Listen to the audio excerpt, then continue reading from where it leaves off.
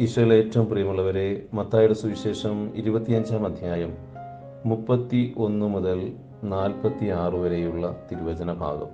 അവസാന വിധിയാണ് മനുഷ്യന്റെ ഓരോ പ്രവൃത്തികൾക്കും തക്ക പ്രതിഫലം അന്ത്യദിനത്തിൽ ദൈവം നമുക്ക് നൽകുമെന്ന് തിരിച്ചറിവുണ്ടാകണം.